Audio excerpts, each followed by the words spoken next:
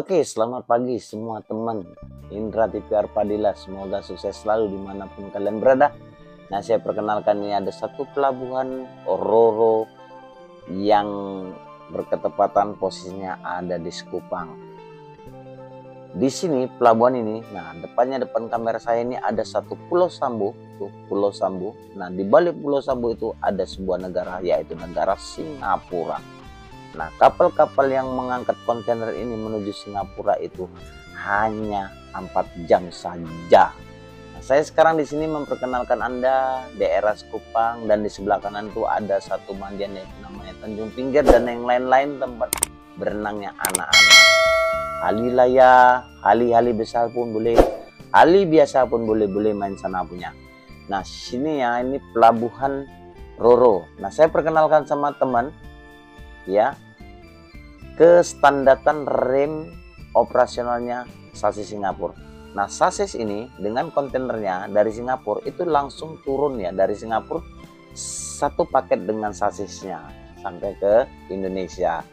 Tidak diturun atau dinaikkan kontainernya. Langsung dari kapal turun dengan sasis-sasisnya langsung diantar ke PT. Nah, saya perlihatkan nanti sama teman-teman bagaimana uh, standarnya rem Singapura ini ketika driver di atas kendaraan.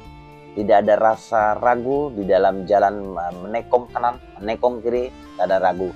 Nah kalau saya lokal itu sangat membahayakan.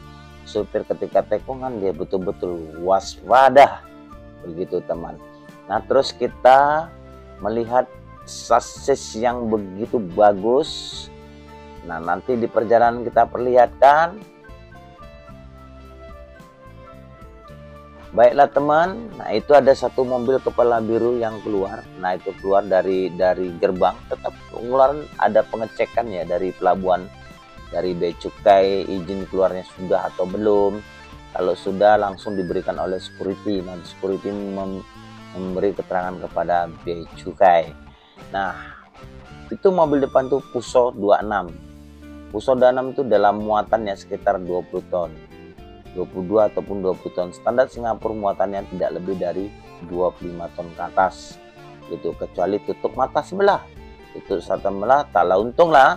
Kalau tutup mata sikit-sikit pasti untung lah. Tutup mata semua taklah untung oh. Nah, seperti itulah kawan. Nah itu cukup berat ya mobil-mobil tua dan dengek-dengek juga itu nggak sesak napas itu itu cukup tinggi daki-dakiannya teman. Nah itu tinggi itu supirnya itu sudah keringat dingin tuh termasuk keringat-keringat jagung lah sudah keluar semua. Nah dulu, dulu saya ada di posisi mereka driver. Tapi saya alhamdulillah sekarang udah pensiun. Saya tidak memakai kayu bulat lagi. Semoga penggemar kayu bulat selalu sukses di mana pun kalian berada. Nah inilah posisi uh, arah keluar dari pelabuhan uh, yang saya katakan barusan jalannya cukup nekong sana nekong sini nekong sana nekong sini. Ini ya kalau hujan oh banyak licin oh. Banyak licin bisa bahaya banyak licin. Banyak licin. Nah di sebelah kiri kamera saya ini itu adalah rumah sakit otorita Batam. Nah itu satu trailer sudah barusan lewat. Itu menuju itu keluar dari pelabuhan ya pelabuhan yang saya tadi kan. Nah kalau yang ini kita tunggu. Nah ada Scania. Scania India ini cukup kencang kawan. Lu tengok ah. Dia belok pun tak ada lagu punya. Kalau sasis lokal ini macam ah wah kepala sudah lepas sama badan lo. Kalau untung lah. Kalau untung itulah perbedaan orang Tionghoa sama orang kita ini ya kalau untung tala nasib.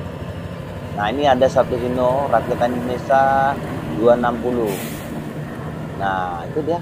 Bunyinya dia cukup bagus. Cukup standarnya sangat bagus kalau kalau kalau kalau sasis lokal, wah itu sudah membahayakan untuk semua orang. Seperti itulah kawan. Kita sekarang menunggu satu trailer. Saya akan membuktikan sama teman-teman uh, bagaimana di atas trailer ini driver memakai sasis standar Singapura. Yuk kita ikuti mobilnya dari belakang naik sepeda. Nah itu dia. Lihat lihat lihat lihat teman lihat. Nah lihat lihat. Uh kencang. Ini saya tengok di kilometer sepeda saya ini uh, uh, 55 7 km termasuk 50 km per jam lah. Cukup cepat lah. Nah itu tengok dia tekungan tala takutnya. Nah tala takut punya nah tala pakai ala untung lah ini macam ala untung. Tala bahaya punya. Tengok dia tekungan kita perhatikan lagi ya teman ya tekungan.